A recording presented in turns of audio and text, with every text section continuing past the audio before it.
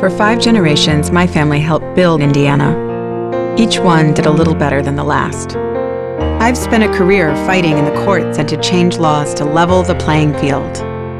But politicians like Trey Hollingsworth have rigged the system against us. I believe affordable health care is a right, and that living wages and equal pay lift everyone. I'm Liz Watson, and I approve this message because I want an Indiana that works for all of us.